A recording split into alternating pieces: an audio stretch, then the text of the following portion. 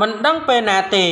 លោកសេឡែនស្គីថាអ៊ុយក្រែននឹងមិនអាចបញ្ចប់សង្គ្រាមប្រឆាំងនឹងរុស្ស៊ីបានទេបើពិភពលោកមិនធ្វើរឿងមួយនេះបងប្អូនជាទីគោរពរាប់អានបើយោងទៅតាមការបញ្ជាក់របស់លោកប្រធានាធិបតីអ៊ុយក្រែន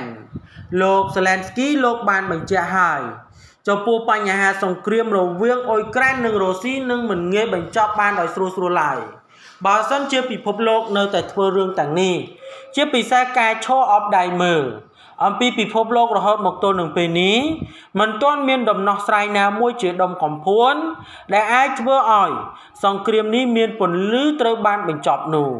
បើរុស្ស៊ីគេនៅតែទៀមទាឲ្យមានការផ្លាស់ប្ដូររដ្ឋធម្មនុញ្ញនៅអ៊ុយក្រែននិងទៀមទានៅរឿងរ៉ាវមួយចំនួនទៀតដូចជាមានការកាត់ទឹកដីអ៊ុយក្រែននៅតំបន់គ្រីមៀឲ្យទៅ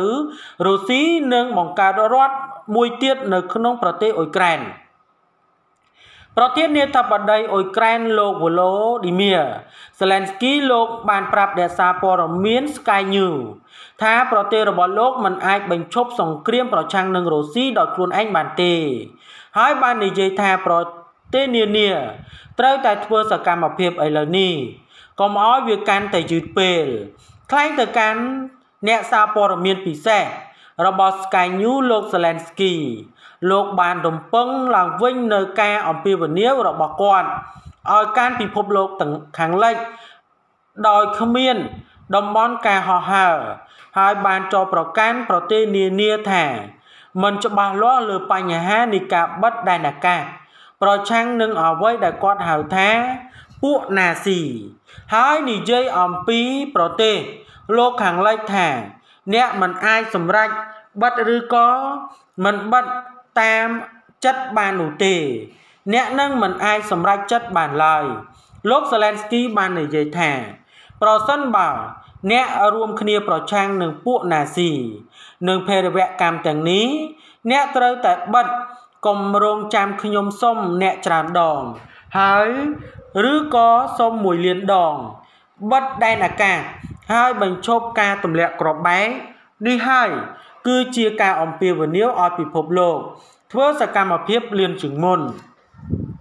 លោកបានបន្ថែមថាជឿជាក់ថាខ្ញុំចោះបើវានៅតែអូសបន្លាយពេលបែបនេះ អ្នកនឹងឃើញពួកគេនឹងបិទដែនអាកាសប៉ុន្តែយើងវិញ គឺនឹងបាត់បង់មនុស្សរាប់លាននាក់ហើយសង្គ្រាមលោកលើកទី3អាចនឹងចាប់ផ្ដើម ហើយពេលនោះអ្នកនឹងបង្កើតតំបន់គ្មានការហោះហើរមែនទេប៉ុន្តែវានឹងជឿតពេលទៅហើយពលគឺកម្លាំងរុស្ស៊ីគឺកាន់តែកាចអាចកាន់កាប់ពួកយើងបានហើយជាចុងក្រោយលោកសេឡែនស្គីបានបញ្ជាក់ថាសម្ព័ន្ធមិត្ត NATO មិនគួរប្រាប់ប្រជាជនអ៊ុយក្រែនដែលបានបាត់បង់កូនរបស់ពួកគេទេ ថាសុំទោសដែលយើងមិនបានធ្វើវា សុំទោសដែលយើងមិនបានធ្វើអ្វីសោះនោះទេ ហើយវាជាការពិតពិភពលោកនឹងមិនអាចធ្វើអ្វីសោះខ្ញុំនឹងសុំទោសប៉ុន្តែវាជាការពិតគួរបញ្ជាក់ថា រហូតមកទល់នឹងពេលនេះសង្គ្រាមរវាងរុស្ស៊ីនិងអ៊ុយក្រែនបានឈានដល់សប្តាហ៍ទី3ហើយហើយប្រជាជនអ៊ុយក្រែនប្រមាណជា3000 35000នាក់ ត្រូវបានជំលះតាមច្រករបៀងមនុស្សធម៌គឺក្រុងចំនួន3របស់អ៊ុយក្រែននៅក្នុងថ្ងៃពុធដូចជានៅព័ត៌មាននេះមានប៉ុណ្ណឹងដើម្បីទទួលបាននូវព័ត៌មានថ្មីៗបន្ថែមទៀតសូម Subscribe និង Like